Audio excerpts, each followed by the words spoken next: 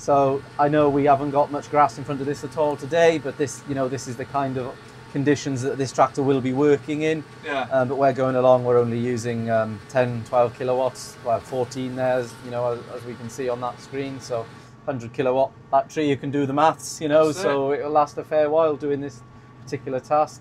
So literally, if you are used to driving Fendt tractors, No difference with this, really. absolutely zero, zero difference really in The terms diff- of operation. In terms of operation, there is zero difference.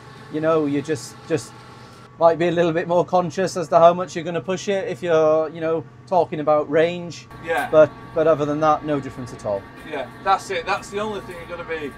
You, you know, in the first instance, the first few months of owning this, you're going to be wanting to work out Yeah. what can we do, what's the range on this thing. But it's like when you first get your electric car. You know, at first you're thinking, "Oh, well, you know, how long is this going to last? But once um, once you know what it can do, you can get into a really good routine with it then. Yeah, and that is that's the word with electric, isn't it? It's it's routine. Yes.